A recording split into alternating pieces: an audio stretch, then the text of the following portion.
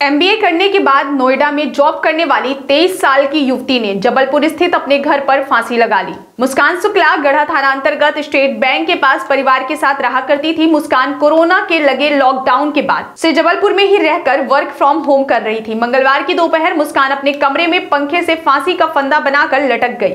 मुस्कान को फंदे में लटका देख परिवार वाले उसे निजी अस्पताल ले गए, जहाँ डॉक्टरों ने उसकी हालत गंभीर होने के चलते मेडिकल कॉलेज रेफर कर दिया।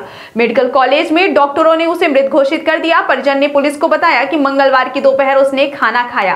फिर अपने कमरे में चली गई। थोड़ी देर बाद देखा तो मुस्कान फंदे पर लटक रही थी।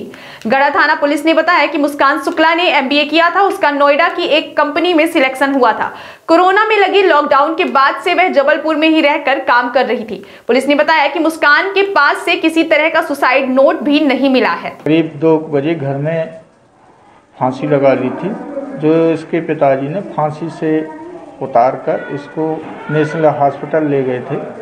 जो वहाँ से नेशनल हॉस्पिटल से उसको मेडिकल रेफर कर दिया था। जो डॉक्टर ने मेडिकल में चेक करने पर मृत घोषित कर दिया था। ये लड़की नोएडा में इंडिया स्मार्ट कंपनी में काम नाम करती थी। राजवाटिका विवाह घर सर्व सुविधा युक्त प्राकृतिक सुंदरता से ओत प्रोत